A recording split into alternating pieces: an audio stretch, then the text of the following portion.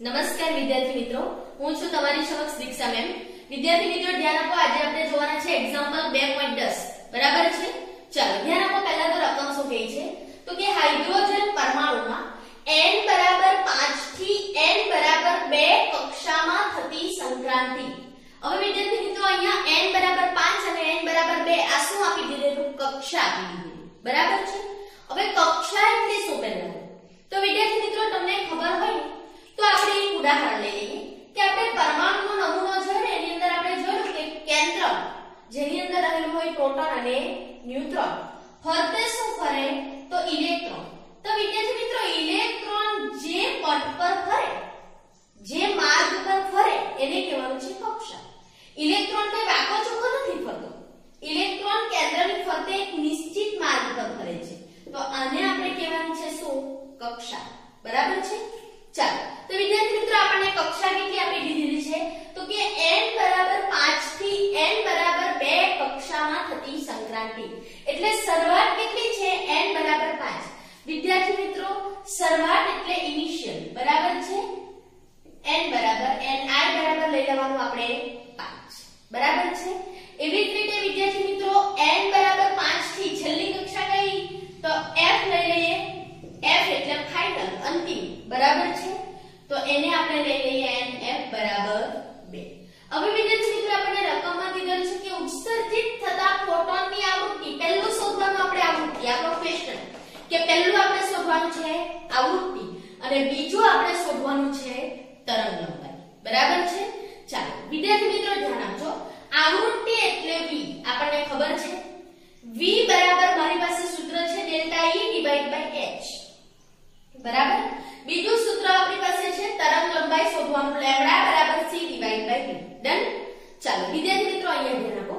હવે તમને એટલું તો ખ્યાલ છે કે m તો v બરાબર આપણી પાસે એ પણ સૂત્ર છે કે c ડિવાઇડ બાય લેમ્ડા આ સૂત્ર પણ છે ને v ની જગ્યાએ મૂકી શકીએ પણ એના માટે વિદ્યાર્થી મિત્રો આપણે તરંગ લંબાઈ જોઈએ બરાબર ને આપણને રકમમાં કશે તરંગ લંબાઈ નથી હું શું કહેવા માંગુ છું ખબર પડી કે v નું સૂત્ર આપણે આ પણ લઈ શકીએ c ડિવાઇડ બાય લેમ્ડા થાય ને આપણું સૂત્ર c એટલે આપણે પ્રકાશની ગતિ 3.0 10 8 લઈ લઈએ બરાબર છે પણ લેમ્ડા તરંગ લંબાઈ ક્યાંથી લાવીએ તરંગ લંબાઈ તો આપણને શોધવા કીધી તો વિદ્યાર્થી મિત્રો, એવી સિચ્યુએશનમાં આપણી પાસે v એટલે આવૃત્તિ શોધવાનું બીજું સૂત્ર છે. v બરાબર delta E divide by h જ્યાં ડેલ્ટા E એટલે શું તો કે ઊર્જાનો ફેરફાર બરાબર છે ચાલો વિદ્યાર્થી મિત્રો ધ્યાન આપજો કે આપણી પાસે સૂત્ર છે ડેલ્ટા E બરાબર 2.18 ગુણ્યા 10 થી માઇનસ 18 ઘાત કૌંસમાં 1 upon ni square minus 1 upon nf square આ સૂત્ર ખાસ ધ્યાન રાખવાનું બરાબર છે જ્યાં આ કિંમત શું છે વિદ્યાર્થી મિત્રો રીડબર્ગ અચળાંક rh બરાબર છે એ કિંમત છે rh રીડબર્ગ અચળાંક ચાલો, વિદ્યાર્થી મિત્રો, આની અંદર આપણે કિંમત મૂકીએ. આ ni ની કિંમત પણ છે nf ની કિંમત પણ છે. તો કિંમત મૂકીએ 2.18 ગુણ્યા 10 ની માઇનસ 18 ઘાત 1 upon ni ની જગ્યાએ આપણી પાસે છે 5 એટલે 5 નો વર્ગ f ની જગ્યાએ છે આપણી પાસે 2 એટલે 2 નો વર્ગ. થેન્ક યુ વિદ્યાર્થી મિત્રો. ચાલો, તો હવે વિદ્યાર્થી મિત્રો, આપણે આગળ જોઈએ. 2.18 ગુણ્યા 10 ની માઇનસ 18 ઘાત સ્ટેપ એમને એમ રહેવા દે. આનું સાદુરૂપ આપીએ તો 1 ના છેદમાં 5 નો વર્ગ એટલે થવાનો 25 બરાબર છે? 1 ના છેદમાં 2 નો વર્ગ એટલે થવાનો 4 થઈ ગયું વિદ્યાર્થી મિત્રો આટલું? ચાલો, હવે વિદ્યાર્થી મિત્રો ધ્યાન આપજો.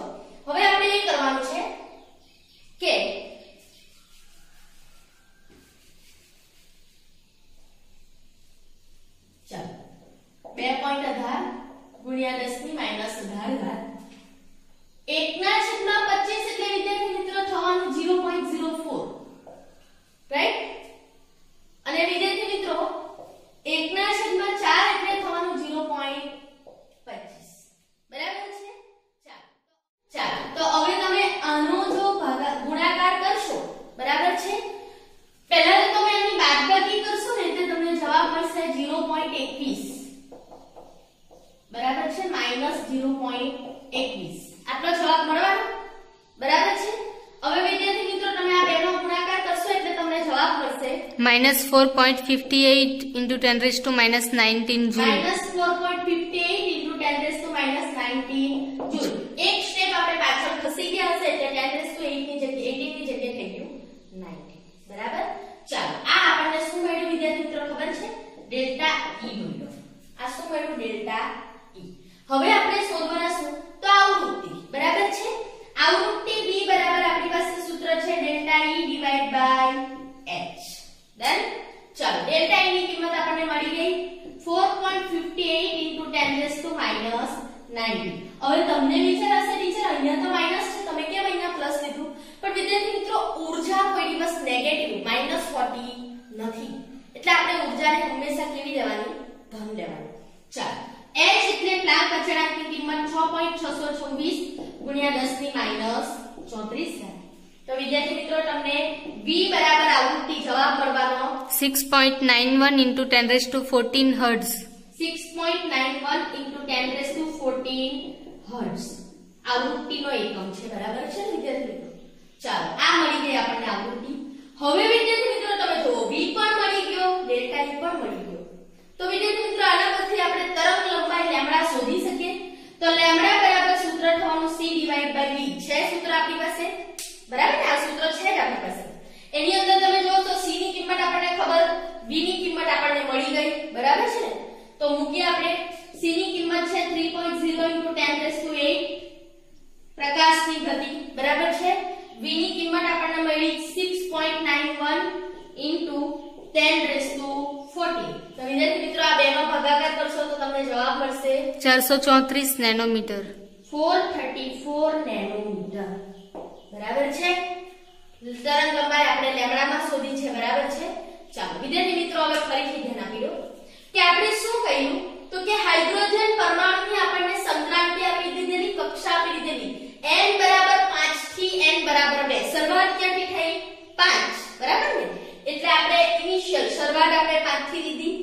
છેલ્લી કક્ષા કઈ? 2 2 એટલે f, એટલે ફાઇનલ ફાઇનલ એટલે અંતિમ કક્ષા આપણે 2 સૂત્ર છે આપણી પાસે ડેલ્ટા E બરાબર 2.18 ગુણ્યા 10 ની માઇનસ 18 ઘાત 1 upon ni square minus 1 upon nf square ni ની કિંમત મૂકી nf ની કિંમત મૂકી અને વિદ્યાર્થી મિત્રો આપણે શું કર્યું?